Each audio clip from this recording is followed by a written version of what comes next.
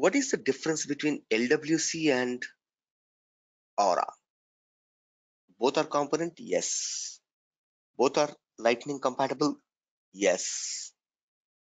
The first difference is that lightning use Aura framework, whereas LWC use HTML and DOM framework. Whereas HTML whereas HTML, whereas LWC is using HTML and or DOM and Java framework, meaning it's same. HTML means DOM. DOM and Java framework. Right? Clear? Web component is ECMA 7 compatible, whereas Lightning Aura is ECMA 5. What are these? These are ECMA standard, web standard for a component.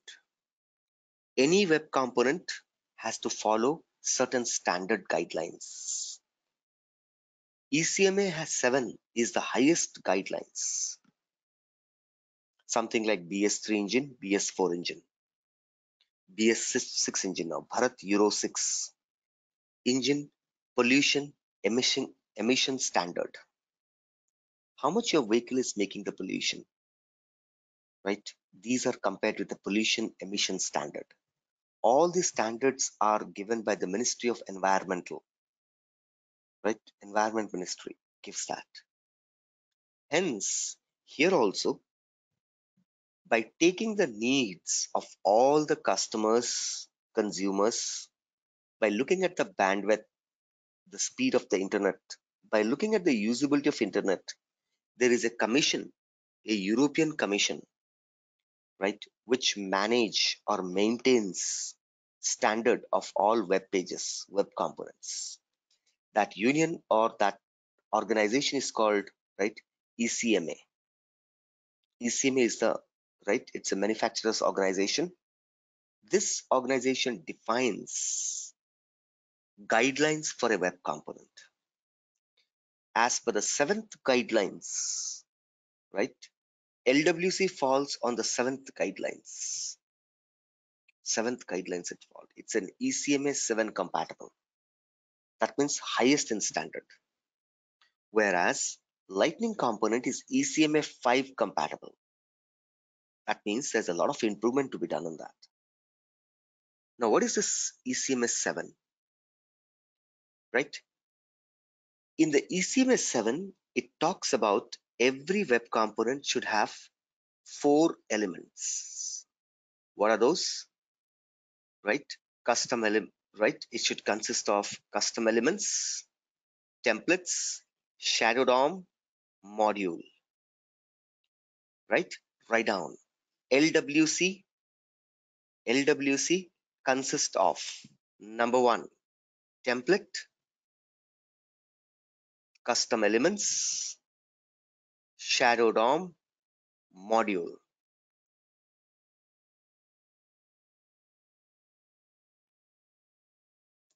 Right? Now, what are each? Let's understand. Because in interview, they'll ask you, what is the shadow DOM? Right? First, custom element. Right? This is the foundation or structure or design of the component write down custom element. This is the structure, right? Foundation or design of the element. Custom element is nothing but the structure, right? The design, right? The foundation of the custom element. Perfect. Next, right? Shadow DOM. What is a shadow DOM? Right? Shadow DOM is nothing but an encapsulation process. Shadow DOM is nothing but it is encapsulation process of all your designing. All your designing, right? Your design plus style combined together is called Shadow DOM. Design plus style combined together is called Shadow DOM design plus style combined together is called shadow DOM. Is called shadow DOM. Right? It is a process of encapsulation. What is an encapsulation? It's nothing but capsuling. What is a capsule? You know that medicine can be given in three ways liquid, orally. Whenever you can't drink a liquid, it's very bitter or the chemical will react. It's very bitter. Then we make tablets.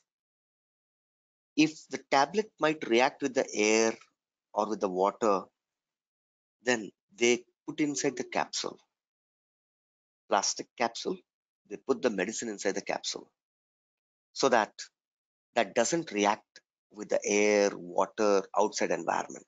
They are well protected. This protection is called capsulation.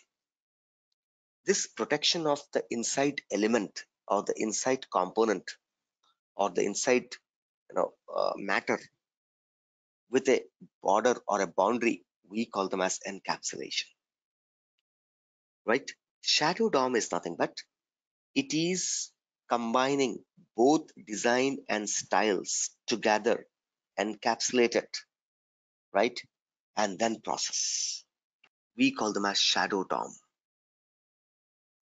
Next, HTML template. HTML template, right? What is an HTML template, right? This is the designing, right? This is the designing part of Lightning Web Component. HTML template is the de designing, right? Designing part of Lightning Web Component. Right on, it's a designing part. Next, ES